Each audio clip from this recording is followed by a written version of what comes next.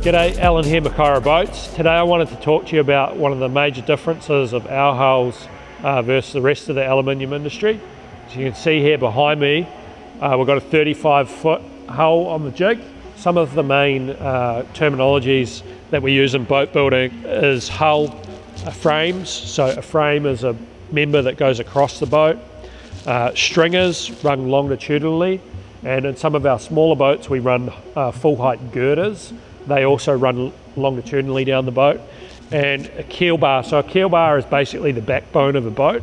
Um, some manufacturers don't actually run a keel bar, um, but we run a keel bar. It's 140 mil, just over five inches, eight mil, 5 16 thick. So that's essentially the backbone of the boat. Runs along the keel. That's where you're going to take any impacts from things like logs uh, in the water. So a really important part of the boat. Um, all of our stringers uh, typically 8 mil uh, on our boats and 70 mil thick. Stringers are like a rib cage basically, so um, they go between the frames. Just like if your body didn't have a rib cage, you just collapse into a big mess. Well, that's what happens with a lot of boats when they're um, pushed hard in, in, offshore conditions and they don't have sufficient underfloor structure. Um, they'll collapse between frames. So you can imagine if this boat here was only had these two frames here and not as much hull structure, it'd be very easy for it to collapse between frames. So that's why we build the hulls this way. Um, we see a lot of boats out there in the industry that don't have sufficient structure and uh, they, they collapse between frames. We've seen the whole front end of boats stove in um, when they're pushed hard in offshore conditions, which they're not designed to do. So our boats are built to Lloyd's Special Service Craft. It's one of the highest standards in the world uh, for hull structure, and uh, we're really proud of the hulls we build. All the structure, uh, frames and girders and keel bar gets fully welded, and then all the stringers are chain stitched.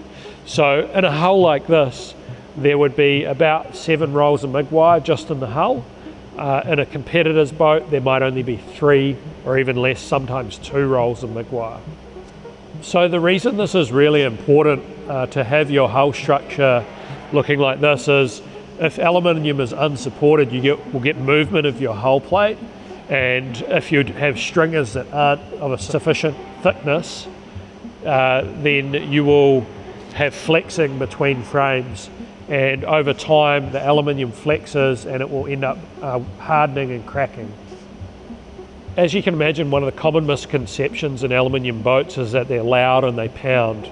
The reason some alloy boats do pound, don't get me wrong, is because of the hull shape. But the other factor is that their hull structure and their hull bottom isn't supported well enough.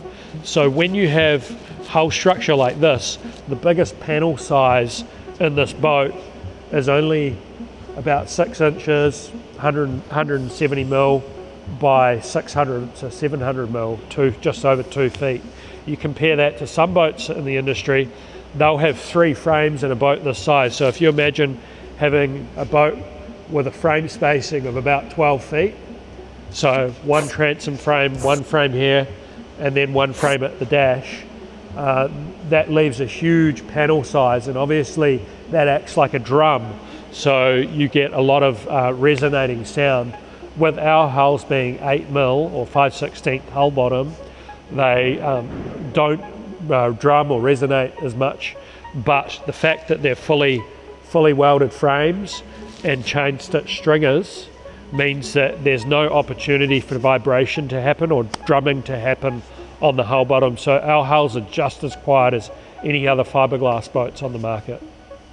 Another key point of difference with our hulls is the 8 mil uh, keel bar and 8 mil stringers. And also we run 5 mil frames. So not only is there 11 frames in this boat they're all 5 mil frames.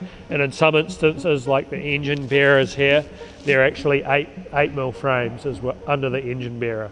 So if you've got any more questions about hull structure uh, feel free to get in contact with us sales at makairaboats.com you can reach out to me allan at makairaboats.com um, for more info. And uh, yeah, now that you've learned a bit about our hulls and why they're so different to the rest of the aluminium boats on the market, we'd love to see you in one.